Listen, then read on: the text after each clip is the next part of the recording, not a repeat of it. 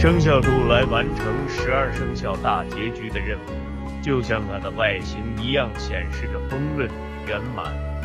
在圆滚滚的外表下，有着气量宽广的胸怀，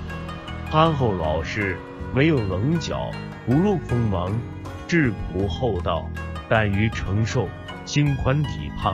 代表心中坦然无憾，身体舒泰安康，以大智若愚的温和姿态度过平凡的一生，象征着一种吉祥圆满的人生态度。